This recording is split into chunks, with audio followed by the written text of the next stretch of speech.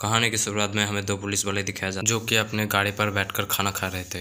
तभी उनमें से एक ऑफिसर फ्रैंक जब गाड़ी से बाहर निकलती है और नदी के ओर देखता है तभी उसे एक आदमी नज़र आती है जो कि एक लड़की को ज़बरदस्ती पकड़ के ले जा रहा था और उसके पास एक धार धार जिससे उसका गला कटने वाला था। ये देख फ्रैंक उस आदमी पर गन तंग देता है और उससे कहता है उस लड़की को ना मारे। इस पर वो आदमी कहता है कि इससे भी पता नहीं कि ये लड़की क्या चीज़ है। इसीलिए वो जो भी है, उसका मरना बहुत ज़रूरी है। एक एक कर वो आदमी जैसे ही लड़की की सर को धर से अलग करने वाला होता है, तभी फ्रैंक उसे शूट कर देता है और वो आदमी नीचे गिर जाता है। और फ्रैंक उसे चेक करने जाता है। तभी वो आदमी उठता है और फ्रैंक को पकड़कर जेनिफर कहता है। इसके बाद उसकी मौत हो जाती है। तभी फ्रैंक का साथी वहाँ आती है और उससे पूछता है, उसने ये क्या किया? इस पर फ्रैंक उसे बताती है कि वो आदमी उस मासूम लड़की को मारना चाहता था। इसीलिए मुझे ना चाहते हुए भी उस आदमी को मारना पड़ा। साथ ही फ्रैंक देखता है कि ये लड़की काफ़ी डरे हुई थी। इसीलिए फ्रैंक उसे उठाता है और जब उस लड़की की शक्ल देखता है तो वो काफ़ी डर जाता है। क्योंकि उसका शकल काफ़ी अजीब थी। साथ ही फ्रैंक उसके हाथ में बनी रस्सी को खोलने जाता है। तभी उस लड़की की नाखून उसके हाथ में लग जाती है, जिससे उसके हाथ में स्क्रैच आ जाती है, और वो लड़की भी काफ़ी डरी हुई होती है। इसके बाद वो फ्रैंक को गले लगा लेती है, और फ्रैंक उसे उठाकर हॉस्पिटल ले जाती है। अगले दिन सैरी फ्रैंक से पूछता है कि आखिर उसने उस आदमी को क्यों मारा? इस पर वो उसे बताता है कि उस लड़की को बचाने के लिए मुझे उसको मारना पड़ा। उसे लगता है कि शायद वो एक चोर होगा। जो उस लड़की को लूटना चाहता था। अब सैरी फ्रैंक से बताता है कि वो आदमी होमलेस था। निखिल पहले वो एक बिजनेसमैन हुआ करता था और किसी कारण की वजह से उसका बिज़नेस बंद हो गई। इसके बाद फ्रैंक वहाँ जेनिफर को देखता है जिसे पूछताछ के लिए वहाँ बुलाया गया था। जेनिफर फ्रैंक को देखता है मानो कि वो उसे पसंद करने लगी है। और शाम को फ्रैंक अपने घर जाती है और वह एक एमी नाम के लड़के उसे हाय कहते हैं, क्योंकि वो उसके पर्स में ही रहा करते थे और वो अंदर जाके अपने बीवी से मिलता। और उससे बताती है, उसने आज एक आदमी को मार डाला। उसकी बीवी उससे कहती है कि ये उसका काम है, इसलिए इसके बारे में ज़्यादा ना सोचे। तभी वहाँ पर उनका बेटा आती है और खाना लेकर चुपचाप वहाँ से चली जाती है। इसके बाद फ्रैंक वॉशरूम पर जाती है, अपने घाव को साफ़ करने के लिए। और जब वो सोने के लिए बेडरूम पर जाता है, उसका बीवी उसकी इंतज़ार कर रही थी। अब यह उसका बीवी उससे अच्छा फील करवाने की कोशिश करते हुए उससे कहती है कि वो आज जानती है, आज उसका दिन अच्छा नहीं गया। बातों ही बातों में दोनों इंटीमेट हो जाते हैं, ताकि फ्रैंक का मूड ठीक हो सके। फ्रैंक जब उसके साथ इंटीमेट हो रहा था तब वो जेनिफर के बारे में ही सोच रहा था, जिस वजह से वो अनजाने में ही अपने बीवी को हर्ट कर देता है, जिससे उसका बीवी काफ़ी डर जाती है और उस पर चिल्लाने लगती है। और अगले दिन फ्रैंक अपने कलीग के पास जाता है और उससे जेनिफर की फ़ाइल माँगता है, जो कि उससे पूछता है, आखिर उससे उसका फ़ाइल क्यों चाहिए?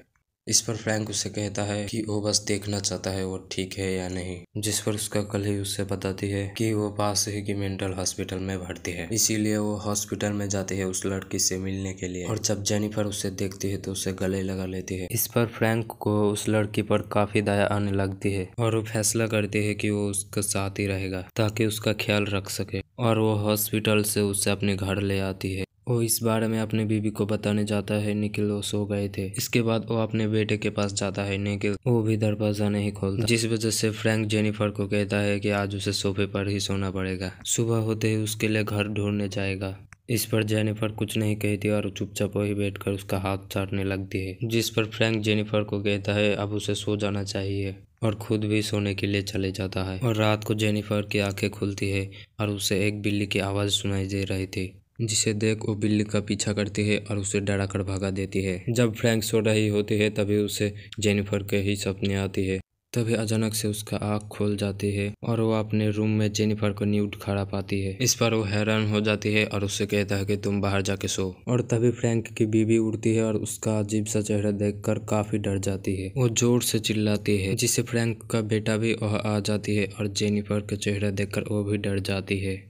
और फ्रैंक अपने बीवी को शांत कराती है और कहता है, इस लड़की की इस दुनिया में कोई नहीं है, इसीलिए वो उस लड़की की मदद करना चाहता था और वो उसे अपने घर ले आया। इस पर फ्रैंक की बीवी उसे कहती है कि इस लड़की को इसके घर से तुरंत बाहर निकाल दे। इसके बाद जेनिफर उसकी बीवी को किस करती है जिससे वो बोलना बंद कर देती है। अब अगले दिन फ्रैंक जेनिफर को लेकर उसके रहने के लिए घर ढूँढने चाहती है। लेकिन उसे जेनिफर पर काफ़ी दया आ रहे थे और उसे अकेला छोड़ना नहीं चाहता था। और वो उसे कहता है, उसे छोड़ना तो नहीं चाहता, फिर भी उसे जाना होगा, क्योंकि उसकी बीवी चाहती वो उनके साथ नहीं रहे। ये सुनकर जेनिफर फ्रैंक की हाथ पकड़ती है और उसे सीने पर लगा लेती है। पहले तो फ्रैंक उसे मना करती है, फिर भी ज़बरदस्ती जेनिफर उसके साथ इंटीमेट हो जाती है, जिससे फ्रैंक को उसके ऊपर और प्यार आ जाती है और रात को जेनिफर को वापस घर ले आती है। ये देखकर उसका बीबी उसे कहती है, वो उसे दोबारा क्यों घर ले आया? तभी जेनिफर बिल्ली की आवाज़ सुनते ही दौड़ते हुए घर के अंदर चली जाती है। इधर वो दोनों आपस में लड़ाई कर रहे थे, तभी दोनों को बिल्ली की चिल्लाने की आवाज़ आती है। इसीलिए वो दोनों ऊपर जाती है। जब वो देखती है कि जेनिफर ने उस बिल्ली को मार दिया है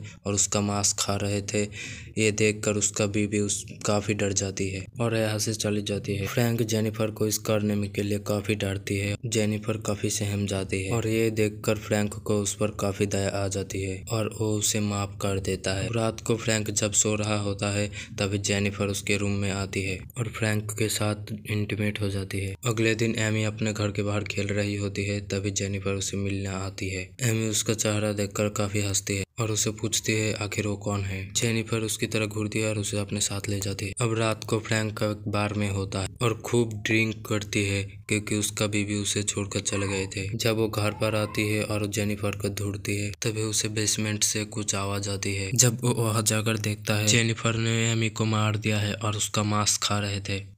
ये देखकर फ्रैंक को काफ़ी गुस्सा आती है और उसे मारने लगती है और उसे गला दबाकर मारने की कोशिश करती है, लेकिन वो उसे मार नहीं सकता था। इसीलिए अगले दिन वो एक सर्कस में जाती है, जहाँ वो सर्कस के मालिक से मिलती है और जेनिफर को रखने की सौदा करती है। अब वो रात को सर्कस के मालिक को घर के चाबी देता है। और उससे कहता है वो लड़की उसके घर पर बंद है वो रात को चुपके से आए और उस लड़की को उठाकर लेकर चले जाए। फ्रैंक जब अपने घर पर जाता तो देखता है जेनिफर घर पर नहीं थे। उसे लगता है कि सर्कस की मालिक आकर जेनिफर को उठाकर लेकर चले गए और वो बहुत खुश हो जाती है। लेकिन वो अपने जब फ्रिज खोलती है तब देखती है कि उसके अंदर उस सर्कस के मालिक की लाश है। जिसे जेनिफर ने बेरे में से मार दिया था और उसे खाया भी था। ये देख फ्रैंक काफ़ी हैरान हो जाती और वो उस आदमी की लाश को एक जगह ले जाकर गाड़ देता है। अब अगले दिन जेनिफर को फ्रैंक काफ़ी दूर ले जा रहा था ताकि वो इंसानों को मार ना सके। इसीलिए फ्रैंक जेनिफर को एक कैबिन में ले आती है, जो कि जंगलों के बीचों बीच था। वो जेनिफर को कहता है कि वो अब से यही रहेगी तो वो यहाँ रहने की आदत डाल ले। अब फ्रैंक बताता है कि पास ही में एक टाउन है,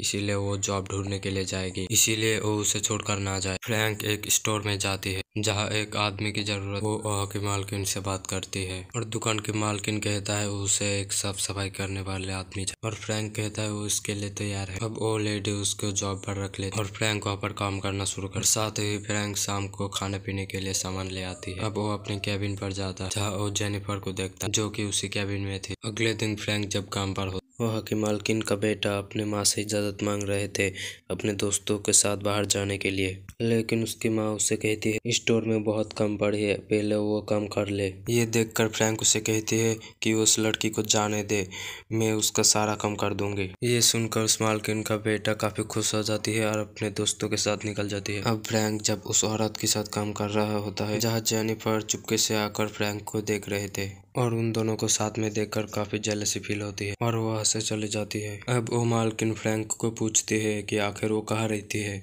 इस पर फ्रैंक कहती है कि, मैं जंगल के एक कैबिन में अपने बेटी के साथ रहता हूँ। अब यह फ्रैंक झूठ इसलिए बोलती है ताकि उसका इमेज डाउन ना हो सके। और वो लेडी कलर का पार्टी में अपने दोस्तों के साथ होता है। और जब वो टॉयलेट करने के लिए जंगल के अंदर जाती है तो उसे एक लड़की नज़र आती है, जो कि उसे अपने पीछे बुला रहे थे। और जब वो मुड़कर देखते है कि तो हमें पता चलता है वो और कोई नहीं जेनी पड़ता, जो कि उस लड़के को मार डालती है, ताकि वो उसकी माँ से बदला ले सके। और जब फ्रैंक घर में वापस आते हैं तो उसे जेनिफर कहीं नहीं मिलता।